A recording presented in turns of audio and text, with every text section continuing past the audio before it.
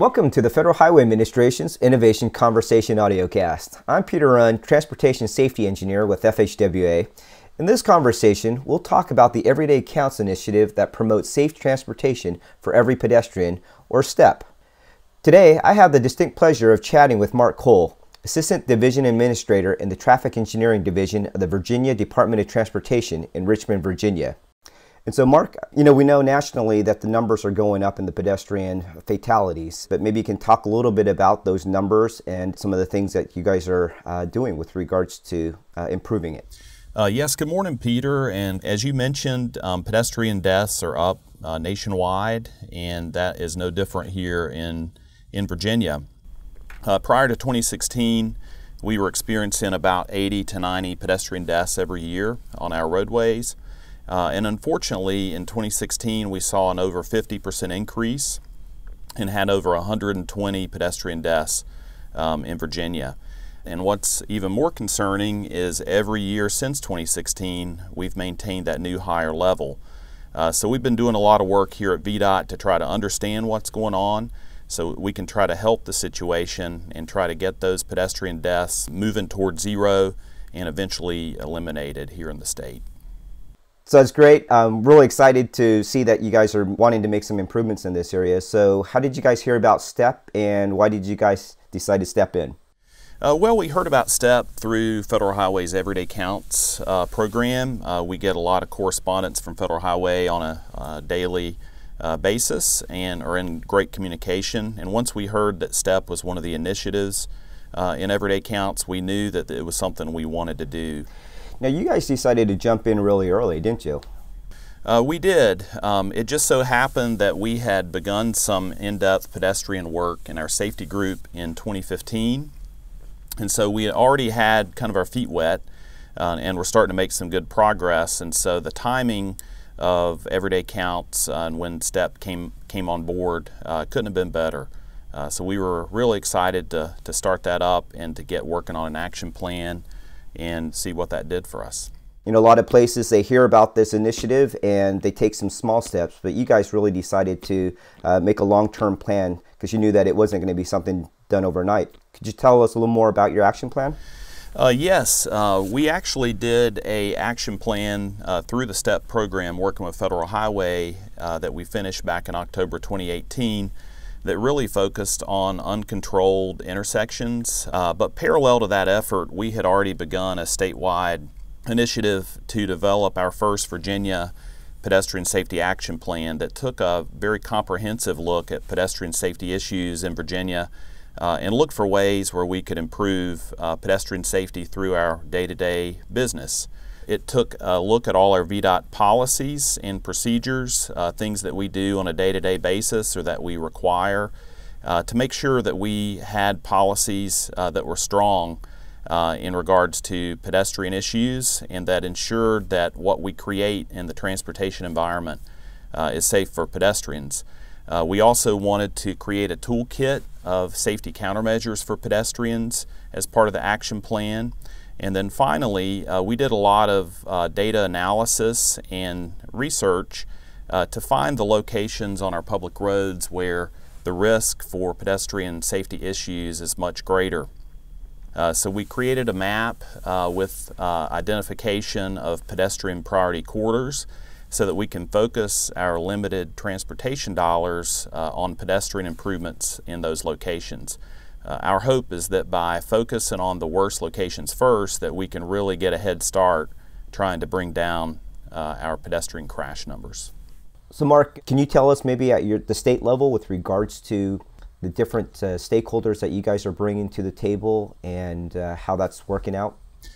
Uh, yes. well, what I would say about uh, highway safety in general, and especially pedestrian safety, is thankfully uh, we're not in this alone. Um, it takes all of us on board trying to work on the strategies that we have to improve uh, pedestrian safety to be successful. So on our stakeholder teams, we've wanted to make sure that we had representatives uh, from not only VDOT, but from those other uh, safety partners so that we can get a more complete picture um, of the pedestrian safety issues that we're trying to help.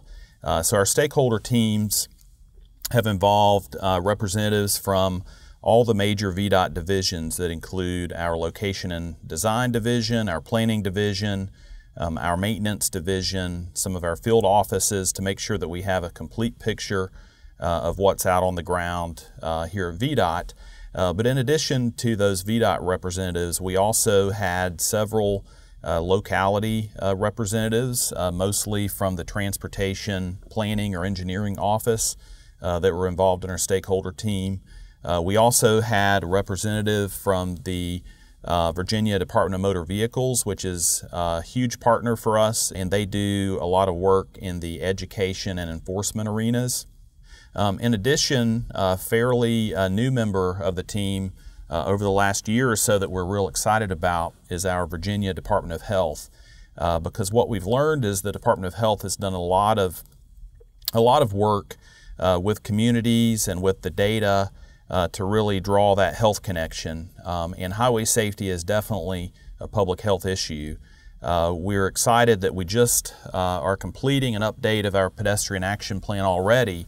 In part of that update, uh, we incorporated uh, the Virginia Health Opportunity Index, uh, which is an index that the Department of Health here produces that gives an idea for every census tract in the state of your opportunity to live a long, healthy life in Virginia.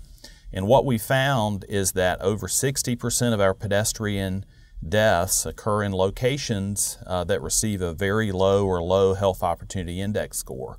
Uh, so there's a great correlation there between some of the health uh, indicators um, and pedestrian safety. Uh, so we've just scratched the surface on that, but we're excited about seeing where it goes.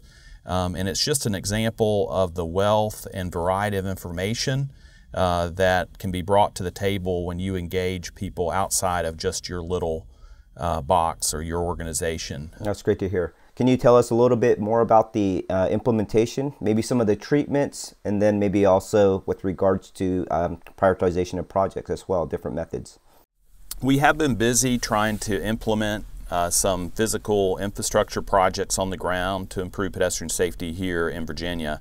Uh, we've really been focusing early on on crosswalk um, enhancements, uh, both uh, to make sure that we have crosswalks uh, where they're needed, but also to make sure they're as visible as possible and in the places where pedestrians want to cross.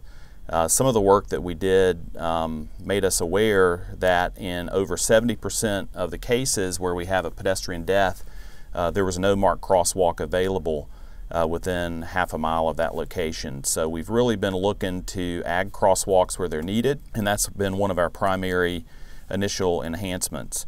Um, in addition to that, we've been working to install pedestrian countdown signals um, at our traffic signals in uh, pedestrian uh, corridor areas.